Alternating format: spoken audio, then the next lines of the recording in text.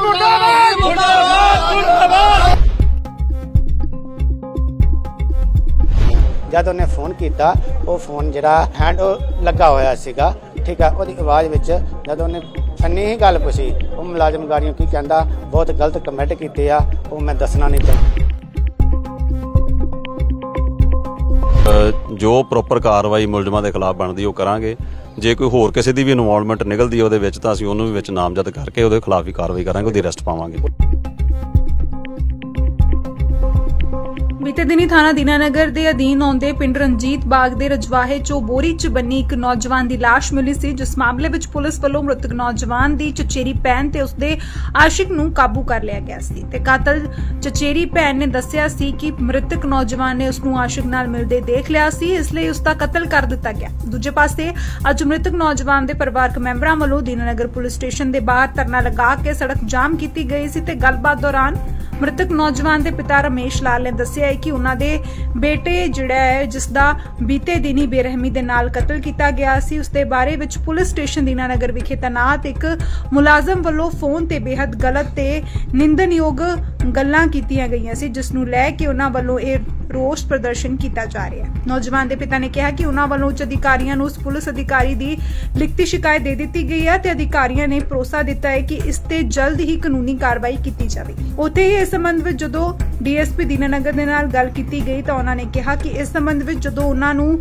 ਜਿਹੜਾ ਹੈ ਪਤਾ ਲੱਗਿਆ ਤੇ ਉਹਨਾਂ ਨੂੰ ਸ਼ਿਕਾਇਤ ਜਿਹੜੀ ਹੈ ਉਹ ਮਿਲੇਗੀ ਤਾਂ ਉਸ ਦੀ ਕਾਰਵਾਈ ਜਿਹੜੀ ਹੈ ਉਹ ਜ਼ਰੂਰ ਕਰਨਗੇ। ਇਹ ਧਰਨਾ ਇਸ ਕਰਕੇ ਦਿੱਤਾ ਗਿਆ ਸੀ ਕਿ ਵੱਡੇ ਅਫਸਰ ਕਹਿ ਰਹੇ ਸੀ ਕਿ ਲੜਕੀ ਔਰ ਲੜਕੇ ਦਾ ਇਹ ਕਤਲ ਜੋ ਕੀਤਾ ਹੈ, ਉਹ ਬਹੁਤ ਮੱਦਭਾਗਾ ਕਤਲ ਕੀਤਾ ਹੈ, ਪਰ ਉਹਦੇ ਵਿੱਚ ਕੁਝ ਕਮੈਂਟ ਆ ਰਹੇ ਸੀ ਵੀ ਇਹ ਲੜਕੀ ਦਾ ਭਰਾ ਹੀ ਗਲਤ ਸੀਗਾ। ਠੀਕ ਹੈ, ਇਹ ਇੱਕ ਖਾਕੀ ਵਰਦੇ ਦੇ ਵਰਦੀ ਵਾਲੇ ਤੋਂ ਹੀ ਇਹ ਲਫ਼ਜ਼ ਬੋਲਿਆ ਗਿਆ।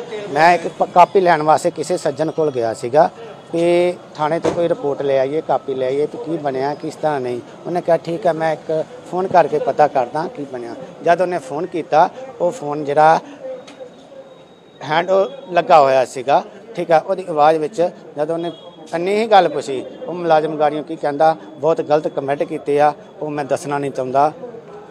ਕਿਉਂਕਿ ਉਹ ਬਹੁਤ ਵੱਡੇ ਹੀ ਕਮੈਂਟ ਕੀਤੇ ਹੋਏ ਆ ਕਿ ਲੜਕੇ ਦਾ ਹੀ ਕਸੂਰ ਆ। ਪਰ ਅੱਜ ਇੱਥੇ ਆ ਕੇ ਪ੍ਰਸ਼ਾਸਨ ਜਾਂ ਡੀਐਸਪੀ ਐਸਐਸਪੀ ਜਿਨ੍ਹਾਂ ਨੇ ਵੀ ਮੇਰੇ ਨਾਲ ਗੱਲ ਕੀਤੀ ਉਹਨਾਂ ਕਿਹਾ ਵੀ ਨਹੀਂ ਅੱਦਾਂ ਦਾ ਕੋਈ ਗੱਲ ਨਹੀਂ ਤੇਰਾ ਪੁੱਤਰ ਬਿਲਕੁਲ ਨਿਰਦੋਸ਼ ਆ ਸਿਰਫ ਉਹਨਾਂ ਦਾ ਹੀ ਕਸੂਰ ਹੈ ਉਹਨਾਂ ਨੇ ਹੀ ਕਤਲ ਕੀਤਾ ਹੋਇਆ। ਭਾਜੀ ਮਾਮਲਾ ਕੀ ਸੀਗਾ ਪੂਰਾ ਵੈਸੇ?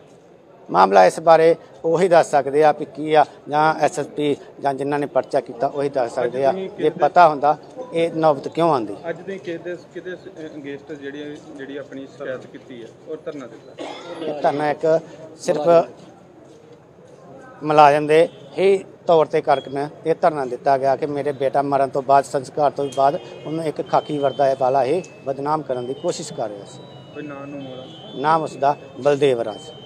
ਢਿੱਲੀ ਬਲਦੇਵ ਰਾਜ ਕਿੱਲੀ ਕਿੱਲੀ ਉਹਦਾ ਬਲਦੇਵ ਰਾਜ। ਹੁਣ ਕੋਈ ਕੀ ਆਸ਼ਵਾਸਨ ਦਿੱਤਾ ਪੁਲਿਸ ਨੇ ਤੁਹਾਨੂੰ?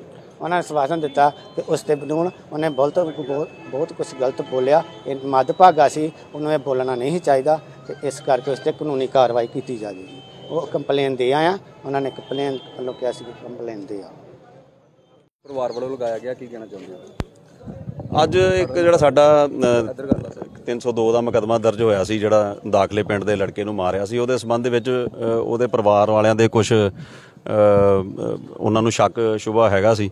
ਉਸ ਸੰਬੰਧ ਵਿੱਚ ਉਹਨਾਂ ਨੇ ਅੱਜ ਥਾਣੇ ਮੁਰੇ ਧਰਨਾ ਲਾਇਆ। ਉਹਨਾਂ ਦੀ ਆਪਾਂ ਤਸੱਲੀ ਕਰਵਾਈ ਆ ਵੀ ਅਸੀਂ ਉਹਨਾਂ ਦੇ ਨਾਲ ਖੜੇ ਆ ਔਰ ਜੋ ਪ੍ਰੋਪਰ ਕਾਰਵਾਈ ਮੁਲਜ਼ਮਾਂ ਦੇ ਖਿਲਾਫ ਬਣਦੀ ਉਹ ਕਰਾਂਗੇ। ਜੇ ਕੋਈ ਹੋਰ ਕਿਸੇ ਦੀ ਵੀ ਇਨਵੋਲਵਮੈਂਟ ਨਿਕਲਦੀ ਉਹਦੇ ਵਿੱਚ ਤਾਂ ਅਸੀਂ ਉਹਨੂੰ ਵੀ ਵਿੱਚ ਨਾਮਜ਼ਦ ਕਰਕੇ ਉਹਦੇ ਖਿਲਾਫ ਵੀ ਕਾਰਵਾਈ ਕਰਾਂਗੇ ਉਹਦੀ ਅਰੈਸਟ ਪਾਵਾਂਗੇ। ਪੁਲਿਸ ਮੁਲਾਜ਼ਮ ਦਾ ਨਾਮ ਵਿੱਚ ਆਂਦਾ ਪਿਆ। ਹਾਂ ਇਹ ਇਹ ਹੁਣ ਕਹਿ ਰਹੇ ਜੀ ਕਿ ਕਿ ਪੁਲਿਸ ਮੁਲਾਜ਼ਮ ਨੇ ਕੋਈ ਗਲਤ ਬਿਆਨਬਾਜ਼ੀ ਕੀਤੀ ਆ। ਅਸੀਂ ਉਹਨਾਂ ਬਾਰੇ ਇਹਨੂੰ ਕਿਹਾ ਵੀ ਸਾਨੂੰ ਐਪਲੀਕੇਸ਼ਨ ਦਿਓ। ਅਸੀਂ ਉਹਦੇ ਖਿਲਾਫ ਜੋ ਬਣਦੀ ਕਾਰਵਾਈ ਉਹ ਕਰਦੇ ਹਾਂ। ਹੁਣ ਧਰਨਾ ਹਾਂਜੀ ਹੁਣ ਸਰਪੰਚ ਸਾਹਿਬ ਵੀ ਖੜੇ ਨੇ ਉੱਥੇ ਪਿੰਡ ਦੇ ਇਹਨਾਂ ਨੇ ਕਿਹਾ ਵੀ ਅਸੀਂ ਧਰਨਾ ਚੁੱਕ ਲੈਨੇ ਆ ਤੇ ਤੁਹਾਡੇ ਕੋਲ ਆ ਰਹੇ ਆ ਐਪਲੀਕੇਸ਼ਨ ਦੇਣ ਵਾਸਤੇ। ਸਾਡੇ ਕੋਲ ਆ ਜਾਂਦੇ ਅਸੀਂ ਕਾਰਵਾਈ ਕਰ ਦਿੰਦੇ ਆ ਜੋ ਰਿਮਾਂਡ ਖਤਮ ਹੋ ਗਿਆ ਜਾਂ ਅੱਜ ਚੱਲ ਰਿਮਾਂਡ ਅੱਜ ਤੱਕ ਆ ਜੀ ਅੱਜ ਦੁਬਾਰਾ ਲਵਾਂਗੇ ਰਿਮਾਂਡ ਉਹਦਾ। ਹਾਂਜੀ।